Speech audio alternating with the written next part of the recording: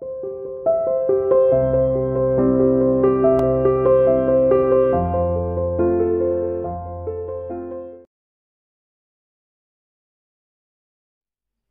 dear student, welcome to Sia International School online classes. How are you all? I hope to fine. Okay my dear plus two commerce unit seven seven point three leadership हम discuss कर रहे थे जिसमें हम leadership style discuss कर रहे थे autocratic leadership style पढ़ी है, हमने डेमोक्रेटिक लीडरशिप स्टाइल पढ़ी है। अब लास्ट जो लीडरशिप स्टाइल है, उसके बारे में आज हम डिस्कस करेंगे। Last leadership style laissez faire style कहलाई जाती है फ्रीडम लीडरशिप स्टाइल भी आप कह सकते हैं, जिसमें बहुत ही ज़्यादा स्वतंत्रता मिलती है। मैनेजर अपने सबोर्डिनेट को काफ़ी फ्रीडम दे देता है, उसे लेजे फेयर स्टाइल कहते हैं लीडरशिप स्टाइल देखिए बेटा this leadership style is also describe as individual centre style ये देखिए क्या है? डेमोक्रेटिक में था ग्रुप सेंटर ग्रुप था, और उन्हीं के पास सेंटर यानी उनके पास सारे अधिकार थे, ठीक है? और यहाँ पर क्या है? इंडिविजुअल सेंटर स्टाइल है। इंडिविजुअल क्या बोलते हैं? ये सेंटर स्टाइल यानी हर एक व्यक्ति ही सेंटर में है, और उनको जो है क्या मिली हुई अपनी अपनी अथॉरिटी अपने तरीके से काम करने की। इसलिए इसे इंडिविजुअल सेंटर स्टाइल भी कहते हैं। यानी हर इंडिविजुअल के पास अपना अपना एक सेंटर है। इन दिस स्टाइल मैनेजर और leader take little interest in managerial function and subordinate are left on their own इसमें क्या होता है? जो मैनेजर है, या आप कह सकते हैं लीडर क्योंकि सारे मैनेजर लीडर होते हैं। लेकिन सारे लीडर मैनेजर नहीं होते, या तो आप लीडर यूज़ कर सकते हैं मैनेजर मैनेजर ज़्यादा बेटर होगा, क्योंकि सारे मैनेजर लीडर होते हैं, ठीक है, बाकी लीडर भी यूज़ करते हैं, कोई दिक्कत नहीं है। यहाँ दोनों वर्ड यूज़ किए गए हैं। इस स्टाइल में मैनेजर और लीडर है take little interest in managerial function बहुत ही कम इंटरेस्ट लेता है मैनेजीरियल फ़ंक्शन में, ठीक है? एंड सबोर्डिनेट मैनेजीरियल फ़ंक्शन जो मैनेजर का एक कार्य है, उन कार्यों में बहुत ही कम इंटरेस्ट लेता है। And subordinate are left on their own और सबोर्डिनेट को उन पर ही छोड़ दिया जाता है। यानी सबोर्डिनेट पर इतना विश्वास होता है कि वो कार्य फुलफिल खुद कर पाएँगे, इसलिए उन्हें उन पर ही छोड़ दिया जाता है। वो खुद ही सेल्फ कंट्रोल कर रहे हैं, खुद ही सुपरवाइजरी कर रहे हैं सुपरविजन का कार्य कर रहे हैं, खुद अपने कार्य की देख रेख कंट्रोलिंग वो सब खुद कर रहे हैं। तो इसे बोलते हैं कि देर ऑन उन पर ही छोड़ दिया जाता है। Manager explaining overall objective manager क्या करता है? एक्सप्लेन करता है ओवरऑल ऑब्जेक्टिव कि हम सबको क्या करना है? पूरे ऑब्जेक्टिव के बारे में बता देता है। Help subordinate their own objective और सबोर्डिनेट की हेल्प करता है कि वो अपने अपने ऑब्जेक्टिव डिटरमाइन कीजिए कि कौन क्या कार्य कर सकता है, किस तरीके से कर सकता है। ये वो खुद ही डिटरमाइन करे। कितना कोई संस्था को आगे ले जाने में कितनी मेहनत कर सकता है कितना टारगेट को जल्दी पूरा कर सकता है, वो खुद ही अपने डिटरमाइन करे ऑब्जेक्टिव इसमें हेल्प करता है मैनेजर तो ये है बेटा कौन सा style laissez faire style laissez faire style यानी फ्रीडम स्टाइल जिसे हम स्वतंत्र स्टाइल कहते हैं, जिसमें बहुत ही फ्रीडम दी जाती है। डेमोक्रेटिक में भी फ्रीडम है, उसमें भी मैनेजर फ्रीडम दे रहा है सबोर्डिनेट को, लेकिन मैनेजर सबोर्डिनेट को इन्वॉल्व करता है डिसीज़न मेकिंग में। लेकिन डिसीज़न लेना नहीं लेना मैनेजर के ऊपर डिपेंड है। या मैनेजर अपने सबोर्डिनेट को कार्य सौंपता है, कार्य के साथ अधिकार भी दे देता है, लेकिन साथ ही साथ सबोर्डिनेट क्या कार्य कर रहा है, उसकी देखरेख भी करता है कंट्रोलिंग भी कर रहा है, और उसे लगता है मैनेजर को कि नहीं, मैंने सही नहीं किया, इसे देखकर तो वापस भी ले सकता है। लेकिन यहाँ क्या हो रहा है, जो मैनेजर है, उसे इतना विश्वास होता है अपने सबोर्डिनेट पर कि वो उन पर ही छोड़ देता है कार्य को। वो ये सोचता है कि कार्य को बहुत ही अच्छे ढंग से करेगा और मैनेजर कंट्रोलिंग भी नहीं करता सुपरवाइजरी भी नहीं करता वो बस बैठा रहता है। बैठने का मतलब और आ, आगे जो एक्सटेंशन करना है संस्था का उस पर ध्यान देता है। और बिल्कुल फ्री हो जाता है अपने सबोर्डिनेट को लेकर। लेकिन डेमोक्रेटिक में ऐसा नहीं है। डेमोक्रेटिक में लीडर या आप कह सकते हैं मैनेजर इतना फ्री नहीं होता यानी इतना वो टेंशन फ्री नहीं होता कि भाई सबोर्डिनेट को दे दिया तो फ्री हो गया कार्य से। नहीं। उस सबोर्डिनेट को दे दिया, लेकिन उसके कार्य की देख रेख मैनेजर खुद करता है। यहाँ पर मैनेजर कार्य तो दे देता है, अपने सबोर्डिनेट को, उन पर ही छोड़ देता है कि वो अपने तरीके से करे। ठीक है डिसीज़न है तो उसमें भी कहता है कि आप ही डिसीज़न लीजिए। जो कार्य है ना, आप अपने ही तरीके से डिसीज़न लीजिए। सबोर्डिनेट को ऐसे भी कह देता है, ठीक है? क्योंकि वो फ्री हो जाता है। उसे ये लगता है सबोर्डिनेट बहुत ज़्यादा टैलेंटेड है और वो ये कार्य कर लेंगे, मुझे देखने की ज़रूरत नहीं है। जैसे आप बहुत टैलेंटेड है, मैंने आपको कुछ कार्य दिया है और मुझे पूरा विश्वास है, आप इसमें कुछ भी कमी नहीं छोड़ेंगे। फिर आप वो काम करके लाते हैं, आप कहते हैं, जी मैम, एक बार देखिए मैंने काम किया है। तो कई बार क्या होता है, जैसे देखा जाता है कि नहीं नहीं, हमें देखने की ज़रूरत नहीं है, आपने बढ़िया ही किया होगा। और कुछ नहीं, यही स्टाइल है जिसमें सबोर्डिनेट जिसमें मैनेजर को पूरा विश्वास है किस पर, अपने सबोर्डिनेट पर। ठीक है जैसे कई बार एग्ज़ाम में देखा होगा कि चेकिंग होती है कुछ एक दो नंबर कुछ बच्चे बढ़वाने आ जाते हैं जो बहुत अच्छे टैलेंटेड होते हैं कि मैम यहाँ मेरे नंबर इतने थे लेकिन आपने इतने दिए हैं ठीक है? तो हो, हो सकता है टोटलिंग में भी थोड़ी सी मिस्टेक हो। तो कई हमें क्या होता है कई बार बच्चे पर विश्वास होता है ठीक है कि एक नंबर बढ़वाने आया है तो हाँ कहीं ना कहीं बढ़ रहा होगा तो और कुछ नहीं वो एक विश्वास है वो एक एग्ज़ाम एग्ज़ाम्पल बता रही हूँ। तो हो सकता है कि टीचर बिना एड बिना सारा वेरिफिकेशन किए कि एक नंबर कहाँ बढ़ रहा है, वो वैसे ही नंबर दे देता है। ठीक है, बच्चा कह रहा है तो सही कह रहा होगा कि एक नंबर बढ़ रहा है। तो उस पर विश्वास कर लिया और टीचर नंबर दे देते हैं। वो ही विश्वास यहाँ बना रहता है। मैं ये एग्ज़ाम्पल इसलिए बता रही हूँ, जैसे कि वो टीचर अपने स्टूडेंट पर विश्वास रख रहा है कि स्टूडेंट कह रहा है कि एक नंबर और बढ़ना है, यानी टोटलिंग में थोड़ी मिस्टेक है। तो टीचर टोटल दोबारा नहीं करता, बल्कि उसके कहने पर एक नंबर खुद ही दे देता है, ठीक है? तो ये एक विश्वास है टीचर का अपने किस पर? स्टूडेंट पर। ऐसे यहाँ मैनेजर का अपने जो सबोर्डिनेट है, उस पर क्या होता है? विश्वास होता है, और इसी विश्वास को लेकर वो क्या करता है? उन्हें उन पर ही छोड़ देता है कि अपने ऑब्जेक्टिव निर्धारित कीजिए, कौन क्या कार्य करेगा, किस तरीके से करेगा, और अपने तरीके से करके दिखाइए। तो ये है लिज पेयर स्टाइल अब आता है इसके फीचर क्या है? देखिए इसके फीचर अभी मैंने मीनिंग बताया था। एक एग्ज़ाम्पल अभी बताया था कि आप अगर आए हैं, आप एक नंबर बढ़वाने आए हैं कि मैम देखिए टोटलिंग में मिस्टेक है और मैं बिना टोटल के मिस एक नंबर कहाँ ऐड हो रहा है, कहाँ मुझसे मिस्टेक हुई। मैं नहीं देती हूँ, मुझे विश्वास है, आप ठीक ही कह रहे होंगे, मैं एक नंबर ऐड कर भी देती हूँ। ठीक है? तो एक तरीके से वो एक विश्वास है। वो एग्ज़ाम्पल मैं सिर्फ़ एक विश्वास के लिए बोल रही हूँ। वो एक विश्वास है।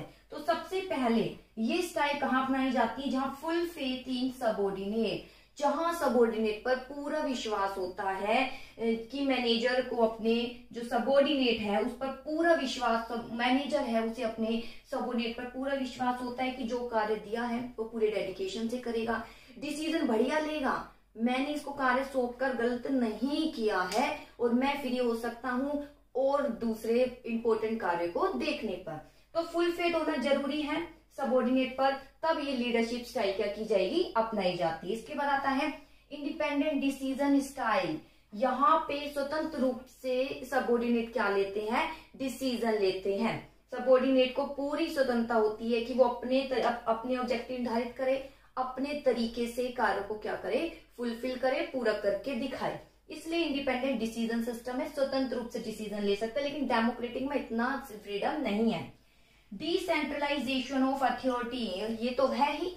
डिसेंट्रलाइजेशन अथॉरिटी मतलब काम भी दे देते हैं कि सबोर्डिनेट को, आपने ऑब्जेक्टिव निर्धारित कीजिए मैनेजर कहता है ये काम कर लेना, और मैं, मुझे देखने की ज़रूरत नहीं, आप क्या कर रहे हैं? आप अपने तरीके से कीजिए, मुझे पूरा विश्वास है, आप इसे बढ़िया तरीके से ही करेंगे। तो ये, और उसके काम के साथ अथॉरिटी तो दी ही जाती है, तभी तो फ्री रेंज स्टाइल कहलाई जाएगी। इसके बाद आता है self directed supervisory and control इसके अंतर्गत जो सबोर्डिनेट होते हैं सेल्फ डायरेक्टेड खुद ही डायरेक्टेड होते हैं, खुद ही डायरेक्शन खुद ही जो है कार्य को कैसे करना है, अपने आप ही डिटरमाइन करते हैं। सुपरवाइजरी कार्य मिल जाता है, ठीक है? क्योंकि मैनेजर जब कोई कार्य रिलेटेड डिसीज़न ले रहा है तो वो उनको इन्वॉल्व भी करता है वो ये कहता है, ये कार्य मेरे लिए खास इंपॉर्टेंट नहीं आप कीजिए और आप अपने तरीके से कीजिए, आप फ्री हैं। और सुपरवाइजरी तो मैनेजर यहाँ फ्री हो जाता है वो देख रेख भी नहीं करता और एम्प्लॉय खुद ही क्या करता है? सुपरवाइजर का कार्य यानी देख रेख का कार्य कि मैंने कार्य ठीक किया है या नहीं। इसके बाद कंट्रोल खुद ही कंट्रोलिंग करता है। सुपरवाइजर देख रेख का कार्य करता है इसके बाद कंट्रोल यानी अंतर कि, कि मैंने कितना कार्य किया है कितना कमी रह गई वो खुद ही करता है। लेकिन ऐसा डेमोक्रेटिक में नहीं था डेमोक्रेटिक में मैनेजर ने अगर बाय चांस कार्य सौंप भी दिया तो वो देखता है, खुद कंट्रोलिंग कर रहा था। लेकिन यहाँ पर मैनेजर तो फ्री है। वो फ्री हो गया, इसलिए फ्री हो गया क्योंकि उसे फुल फेथ है सबोर्डिनेट पर। फुल फेथ होने के कारण ये सबोर्डिनेट खुद ही अपना कार्य अपने अनुसार कर रहे हैं, खुद ही सुपरवाइजर कर रहे हो, खुद ही उसको क्या करते हैं? कंट्रोल करते हैं। तो ये थे फीचर अब फीचर के बाद आते हैं, इसके क्या एडवांटेज हैं? ठीक है, इसके एडवांटेज देखते हैं। फिर एक बार मीनिंग इस स्टाइल को जो है इंडिविजुअल सेंटर स्टाइल बोलते हैं, क्योंकि इसमें मैनेजर को अपने सबोर्डिनेट पर पूरा विश्वास होता है इंडिपेंडेंट डिसीज़न लिए जाते हैं, और सबोर्डिनेट खुद ही सेल्फ डायरेक्टेड सुपरवाइजर और कंट्रोल का क्या करता है, कार्य करता है। अब आते हैं एडवांटेज हाँ जी, क्या एडवांटेज हो सकते हैं? फ़ायदे क्या है एडवांटेज के? सबसे पहले व्यक्ति पर फुल फेद है। खुद डिसीज़न ले रहा है एम्प्लॉय सबॉर्डिनेट खुद ही डिसीज़न ले रहा है अपने तरीके से तो क्या इसके फ़ायदे होंगे? डेवलपमेंट होगा किसका होगा? डेवलपमेंट होगा किसका? सेल्फ कॉन्फिडेंस का।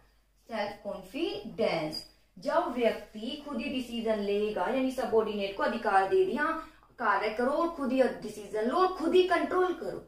उस पर ही छोड़ दिया जाता है। हालाँकि ऐसा नहीं मैनेजर कंट्रोल नहीं करता। मैनेजर चाहे तो कंट्रोल कर सकता है, लेकिन यहाँ सबोर्डिनेट खुद ही कंट्रोलिंग का कार्य कर लेते हैं। तो इससे क्या होता है? उनका डेवलपमेंट हो रहा है। क्या डेवलपमेंट हो रहा है? सेल्फ कॉन्फिडेंस क्या डेवलप हो जाता है? सेल्फ कॉन्फिडेंस अंदर एक फीलिंग आती है उनको अच्छा फील होता है कि हम इस संस्था का क्या है? पार्ट है। उन्हें लगता उन्हें ये नहीं लगता कि, कि, कि हम हमारा इम्पोर्टेंस कम है बल्कि उन्हें ये लगता है कि हम भी एक संस्था भी हमारे हमारे द्वारा किए गए कार्यों से क्या कर रही है?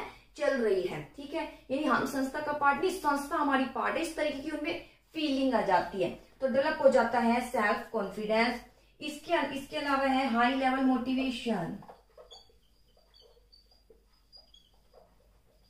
high level motivation self confidence increase होता है हाई लेवल मोटिवेशन यानी मोटिवेट होते हैं व्यक्ति और अच्छा कार्य करने के लिए। वही एक बात कि वो व्यक्ति सोचते हैं कि संस्था हमसे नहीं, बल्कि हम जो है संस्था को बहुत अच्छे तरीके से चला रहे हैं। यही बात उन्हें, उनमें क्या उत्पन्न करती है? हाई लेवल मोटिवेशन उन्हें मोटिवेट करती है हाई स्तर पर। इतने हाई स्तर पर कि वो बहुत अच्छे तरीके से कार्य करते हैं, लंबे समय तक क्या करते हैं? टिके रहते हैं। थर्ड आता है हेल्पफुल इन ये किसमें कार्य करता है किसमें हेल्प करता है? Helpful in development and extension of enterprise देखिए किसमें हेल्प करता है? क्योंकि इसमें जो सबोर्डिनेट जो मैनेजर है वो सबोर्डिनेट पर, पर पूरा विश्वास रखता है कि वो कार्य कर लेगा। हालाँकि कंट्रोलिंग के कार्य से भी वो पीछे हो जाता है, वो सोचता है कि मेरे सबॉर्डिनेट बहुत अच्छा कार्य करेंगे, वो खुद ही कंट्रोलिंग कर लेंगे। तो मैनेजर के पास जो है टाइम बच जाता है, किसमें, वो अपना टाइम किसमें दे सकता है? डेवलपमेंट और एक्सटेंशन करने पर किसका? एंटरप्राइज डेवलपमेंट करने पर, उसकी और ब्रांच स्थापित करने पर, और विकास करने पर उनमें क्या इंप्रूवमेंट होनी चाहिए संस्था में ये? और इसके अलावा एक्सटेंशन एक ब्रांच से दूसरी ब्रांच स्थापित करने पर एरिया छोटे एरिया है, बड़े एरिया में कवर करने पर इस पर क्या कर सकता है? वो ध्यान दे सकता है। तो बेटा, ये थी एडवांटेज एक बार मैं बुक के अकॉर्डिंग भी आपको बता देती हूँ। अगर नहीं समझ आए तो advantage first of all development of self confidence in subordinate self confidence increase होता है, देखिए। When all the authority in their work performance given to employ जब सारी अथॉरिटी वर्क से रिलेटेड एम्प्लॉय को दे दी जाती है तो वो हैबिचुअल हो जाते हैं खुद डिसीज़न लेने के। तो सेल्फ कॉन्फिडेंस क्या हो जाता है? उनमें इंक्रीज हाई लेवल मोटिवेशन वो खुद important start consider them self an important part वो खुद सोचते कि हम इम्पोर्टेंट नहीं, बल्कि it start feeling they are not a part of enterprise में फीलिंग जाती कि वो पार्ट नहीं एंटरप्राइज बल्कि इंटरप्राइज हमारा पार्ट है. हेल्पफुल डेवलपमेंट एंड एक्सटेंशन जैसा मैंने बोला था कि enterprise when this leadership adopt जहाँ इस लीडरशिप को अडप्ट किया जाता है मैनेजर के पास काफ़ी टाइम बच जाता है और वो कहाँ पर ध्यान दे सकता है डेवलपमेंट और एक्सटेंशन करने पर। तो ये थी बेटा एडवांटेज अब आती है डिसएडवांटेज क्या है? देखिए disadvantage first of all difficulty in cooperation first of all क्या है? डिफिकल्टी इन कोऑपरेशन देखिए डिफिकल्टी उत्पन्न होती कोऑपरेशन में। कैसे? Since there is no close supervision कोई क्लोज सुपरविजन नहीं करता control by the manager manager अभी मैंने बताया था यहाँ पर यहाँ ये सबोर्डिनेट खुद ही सुपरवाइजर और कंट्रोलिंग uh, का कार्य कर रहे हैं मैनेजर नहीं करता चाहे तो कर सकता है। एवरीबडी स्टार्ट फंक्शनिंग इंडिपेंडेंटली हर एक जो सबोर्डिनेट है अपने तरीके से कार्य करने लग जाते हैं। Some employ with opposite point of view अब इतने सबोर्डिनेट होंगे जिनको स्वतंत्रता मिल जाएगी। कार्य करने की। तो सबके कार्य करने का तरीका अलग होगा। Hardly attainment of objective of other people तो हो सकता है कि एक व्यक्ति दूसरे व्यक्ति के काम में क्या करे अड़चन पैदा करे। Such people don't work them self no can they see other work it become difficult for manager establish coordination तो यहाँ पर कोऑर्डिनेशन क्या बैठाना मुश्किल हो जाता है। सारे सबॉर्डिनेट को क्या मिल रही है? स्वतंत्रता। अपने तरीके से, वो अपने तरीके से करना चाहेंगे। जो सामने वाले के तरीके उन्हें पसंद नहीं आएगा तो कहीं ना कहीं कोऑपरेशन बैठाने में क्या उत्पन्न हो जाएगी? डिफिकल्टी क्योंकि कंट्रोलिंग का सुपरवाइजरी का कार्य भी वही सबोर्डिनेट खुद कर रहे हैं। इसके बाद आता है lack of importance of managerial post lack of importance of managerial post देखिए ऑटोक्रेटिक लीडरशिप स्टाइल क्यों अपनाई गई? क्योंकि लीडर को ऐसा लग रहा था, उसके मैनेजीरियल पोस्ट का इंपोर्टेंस क्या हो जाएगा? खत्म हो जाएगा। इसलिए नहीं दे रहा। तो यहाँ पर वो तो मैनेजर दे रहा है, सारा कार्य दे रहा है, इसके अलावा अथॉरिटी भी दे रहा है, और डिसीज़न में खूब इन्वॉल्वमेंट कर रहा है, उनको फ्री कर रहा है कि आप डिसीज़न लीजिए। तो कहीं ना कहीं मैनेजरियल पोस्ट का इंपोर्टेंस क्या कर रहा है? वो खो रहा है। कैसे? देखिए in this leadership style post of manager is rendered less important because he doesn't make any plan. इस लीडरशिप स्टाइल में जो मैनेजर है, इस लीडरशिप स्टाइल में क्या? जो मैनेजर होता है, वो अपना इंपॉर्टेंस क्या कर देता है? खो देता है। कैसे? Manager rendered less important because वो क्योंकि वो कोई प्लान नहीं करता है टेक एनी डिसीज़न और एक्सरसाइज एनी कंट्रोल क्योंकि मैनेजर ना तो कोई डिसीज़न ले रहा है सबोर्डिनेट को दिया काम। सबॉर्डिनेट से कहा आप ही डिसीज़न लीजिए। सबॉर्डिनेट से कहा आप ही सुपरवाइजर का कार्य कीजिए। सबॉर्डिनेट से कहा आप अपने काम की कंट्रोलिंग खुद कीजिए। तो कहीं ना कहीं वो अपने जो पोस्ट है, उसका इंपॉर्टेंस क्या हो रहा है? खो रहा है। जैसे आप है, आपको मैंने कुछ काम दिया तो मैं कह रही हूँ, खुद ही चेक कर लो, खुद ही अपनी कमी निकाल लो। तो आप कहोगे, ये क्या टीचर है? क्या टीचर है जो हमारी कमी नहीं निकाल रहा, हम खुद ही कर रहे हैं? तो आप तो खुद ही अपने आप को टीचर समझने लग जाएँगे। तो वही बात हो गई। सुपरवाइजर खुद ही अपने आप को एक मैनेजर समझने लग जाएगा कि मैं ही कर रहा हूँ, यहाँ पर सारा कार्य तो कहीं ना कहीं जो मैनेजर है, उसका इंपॉर्टेंस क्या हो जाएगा? खत्म हो जाएगा। अगला suitable for highly educated employ ये मेरी महत्वपूर्ण बात है। हाईली एजुकेटेड एम्प्लॉय हाँ जी।